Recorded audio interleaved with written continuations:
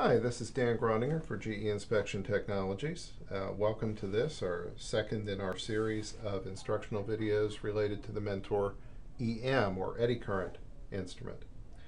Um, in this video, we're going to look at some of the basic operation of the instrument. Uh, as you can see on the left here, I have uh, camera pointing at my instrument, you'll be able to see how my hands uh, interact with the instrument, how we open menus, some of the gestures involved in, in operating the instrument. And on the right, you'll see a, a high resolution remote view of the desktop on the instrument.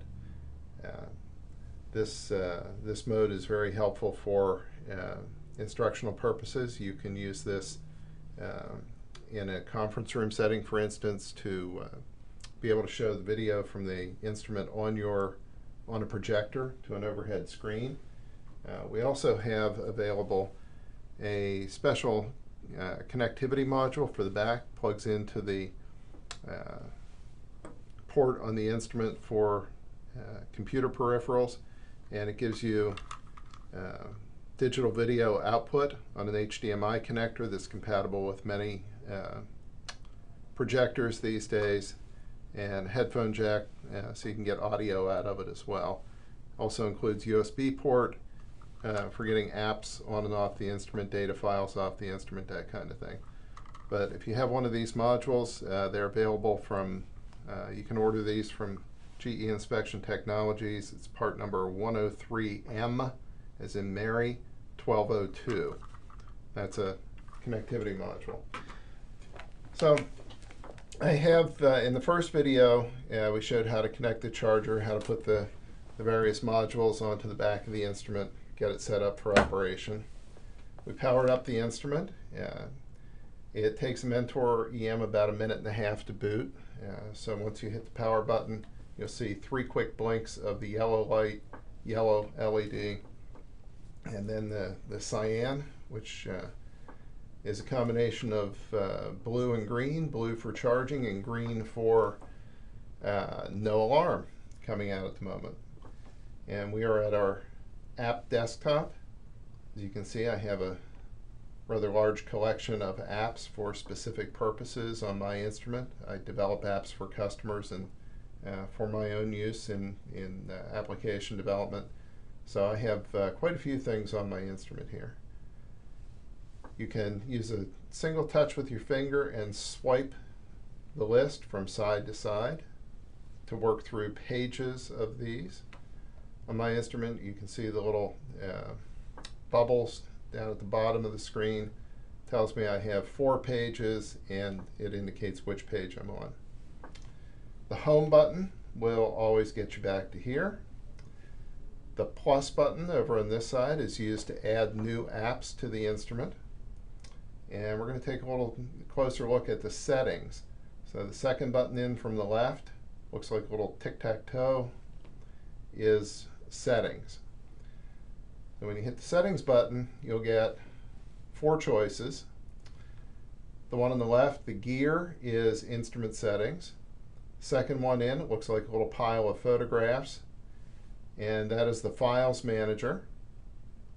We'll talk more about that. Uh, we'll devote uh, an entire video to the files manager. That's how you get information back off of your box. So if you save settings files, if you save uh, reports or screenshots, anything like that you save on the instrument and you want to be able to get that off to uh, use on your PC to email to people, you're going to go through the files manager to accomplish that.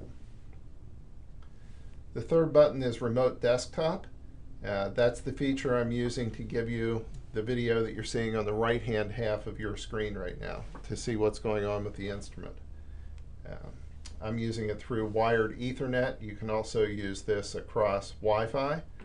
Um, get better performance with the wired Ethernet, so that's my choice at the moment. Uh, there's three choices here. The X is off. There's an icon that looks like an eye, like a person's eye. The, uh, the eye is, allows for a remote view only. The third choice is an eye with a mouse beside it. If I choose that, it means I can both view and control what happens on the instrument from my computer.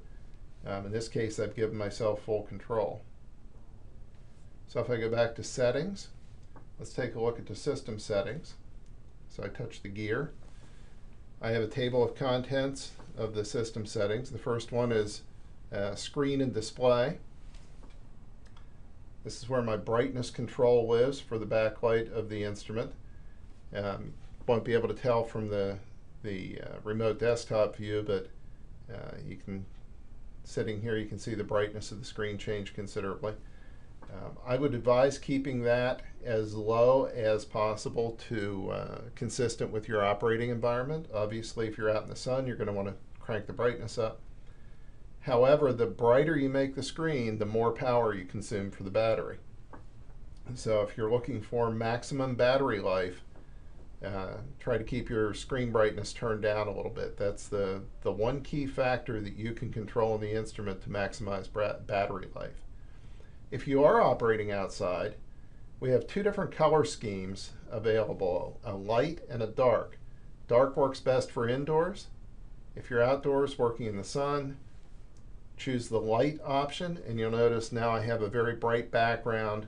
I have black on black text on a white background. It's much more readable in very brightly lit environments. For indoor use, dark is more comfortable and that's my preference. Okay. On the regional tab, you can choose the operating language for the instrument. Um, here I have English, but most uh, most of the languages for the areas where we sell uh, lots of instruments are supported. We're going to stick with English. Radix character uh, determines whether the decimal point in your numbers is a period or a comma. We'll stick with the North American convention of a period as the radix character. Distance units, you have a choice of inch or metric. Temperature units, degrees Fahrenheit or degrees Celsius and conductivity units, megasiemens per meter or percent international annealed copper standard are your choices. For time and date, you, uh, you can choose your time zone and the format for date and time uh, number dis numeric displays.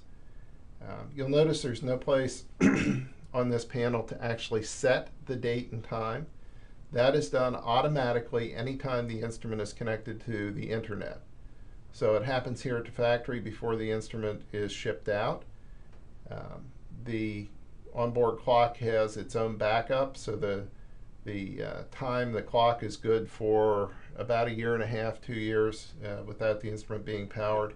If it would ever lose its uh, time set, all you need to do is connect to a Wi-Fi network or a wired network with access to the internet the instrument will reach out and set the time automatically from a time server. Network, uh, these are the controls for uh, a wired Ethernet connection. You'll be able to see your IP and subnet uh, mask in here.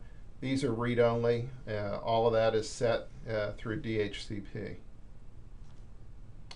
Wi-Fi, if I turn Wi-Fi on, the instrument will go out and search for available networks. Um, I don't have any right now within uh, close range, so we're going to leave that off. Uh, but selecting a network uh, is very much like uh, any portable Wi-Fi connected device. Uh, it'll give you a list of networks. You choose one. If it's a secured network, it will ask you to enter a password to join the network. Uh, one thing that is not supported for Wi-Fi just now is um, the type of networking that's commonly used in hotels and things where it's open to the public, but as soon as you connect, it will launch your web browser and give you, uh, take you to a web page where it asks you to enter or accept terms and conditions. Unfortunately, we don't have a web browser built into uh, the Mentor, so right now we don't have a solution to that problem. But if you have a common secured network like you might have at home with a password, or at your business, um, it will generally be supported there. Uh, Bluetooth, uh, you can have Bluetooth connected devices. Uh, we support human interface devices and things like uh, telephone headsets, uh, earbuds. Uh, so you can play audio So uh, one of the things you can do in apps in the Mentor is have videos embedded. if you do that, one way to hear the audio that goes along with the video is by using a Bluetooth earbud.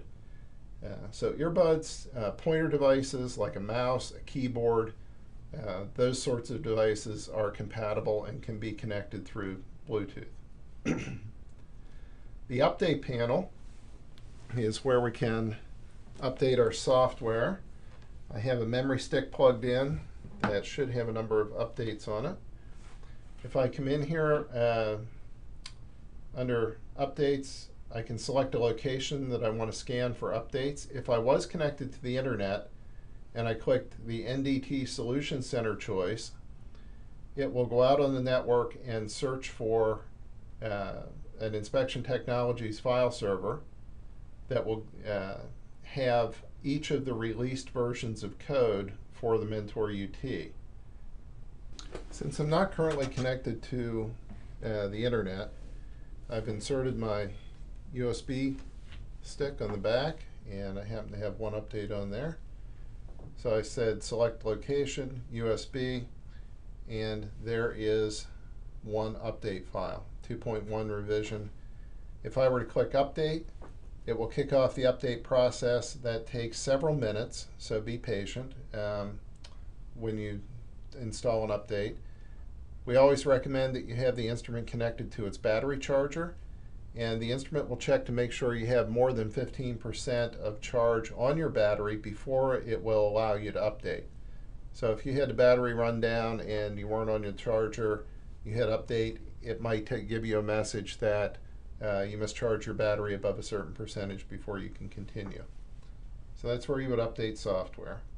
If you want to see what software you have installed on your instrument, that's available on the version information tab. You'll see the instrument serial number, instrument name, serial number at the top. You'll have the information, the, the general revision of the instrument at the very top. Software, company info, uh, specific information on the operating system, the version of the FPGA, microcontroller code, and so on. And last on the settings is the hardware test page. And this is where we give you uh, some valuable information on uh, various operating aspects of the electronics, the uh, eddy current specific electronics, a list of power supplies uh, with the good or bad light beside them, uh, some information from the rotary probe, temperatures of the CPU and the, the computer module inside. And up at the top, we have information about the battery, uh, capacity, charge state, the temperature of the battery, and the manufacturer's ID code for the battery. Um, very important, the battery sealed inside the instrument uh, but one of the things the instrument does is looks for a very specific model number and manufacturer ID for the battery. Um, it will not allow you to charge uh, batteries other than the intended battery for this instrument. so that is everything on the settings panel. And with that, we'll wrap this particular video.